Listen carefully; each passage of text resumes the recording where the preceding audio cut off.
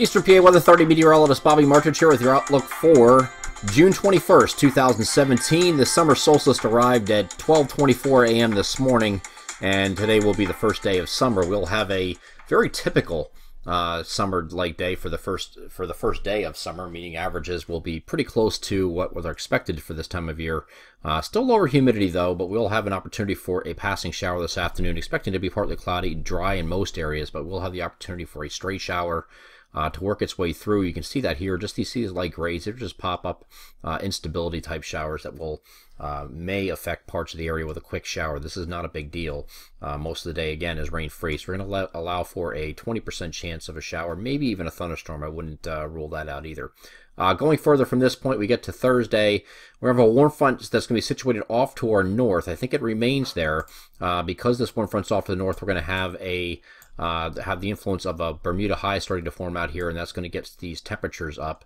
So the humidity is going to come back as well on Thursday. Uh, not full force. I think that's going to be on Friday, which, which is going to be your hottest day. But here's Thursday.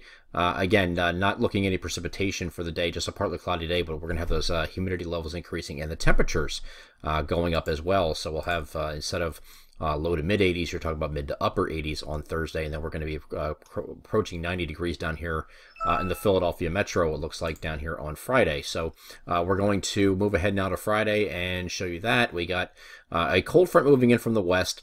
In your picture here.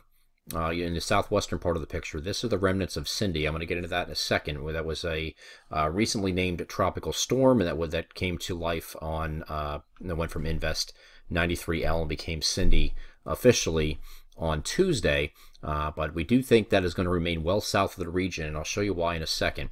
Uh, here's the cold front with the showers and thunderstorms. Might be some enhancement uh, away from area further to the southwest in association with Cindy, but uh, we do think that this is going to be picked up by this cold front and uh, sent eastward. We are going to be dealing with shower, scattered showers and thunderstorms on Friday afternoon and evening, it looks like, uh, with that uh, uh, cold front making its way through.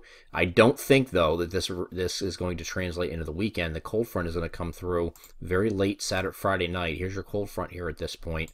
See, it's pushing off to the south. Here is Cindy right here. Cindy is going to be picked up by this trough, and it cannot go through this trough, so it's going to head out in this direction like this and miss to the south, we think. Uh, and uh, let's get over that image right now just to show you what, what we're looking at a broader image. This is Cindy, uh, recently named. I'm going to move this forward and just follow along where this is going to go. And you see it's heading toward, uh, looks like the uh, near the Texas and Louisiana border. Actually, the, uh, uh, the this model in particular makes landfall down here in uh, eastern Texas. So uh, by having this further west track, that instead of having what the GFS showed a few days earlier further east, it allows time for this trough, which I'm going to show you here in a minute, to catch this. So by the time we get to Friday morning, I'm going to move this ahead real quick to Friday morning, just to see what's going on here. Here is Cindy at this point. Okay. Uh, at the same time, we have this uh, we have this cold front that's approaching our area. That's going to give us scattered showers and thunderstorms later on Friday.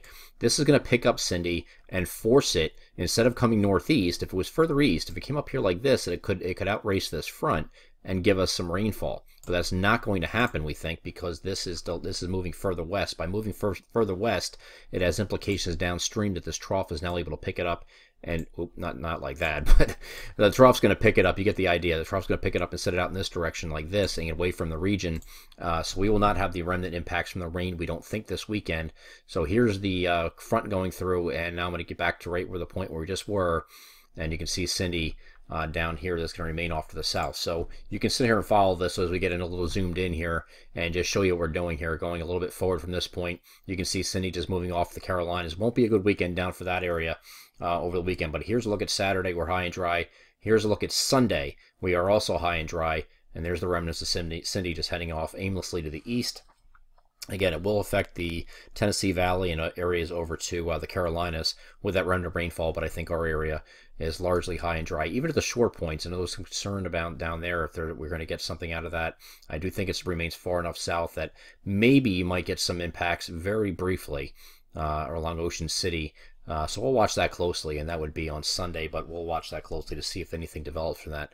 Uh, beyond this point, back to the regular scheduled programming, we have a Uh, another wave, uh, wave of low pressure that could bring some showers, scattered showers in the morning for our eastern areas. Just the morning, though, on, for, on Monday. It looks like the afternoon becomes partly cloudy, and then uh, remaining partly cloudy here on Tuesday, we're going to have high pressure building in off to our southwest. That's going to have a northwest flow with it and give us some cooler temperatures as we head into next week as that trough settles in. I'm Eastern PA Weather Authority meteorologist Bobby Martich. That is your outlook for June 21st, 2017. Have a great Wednesday.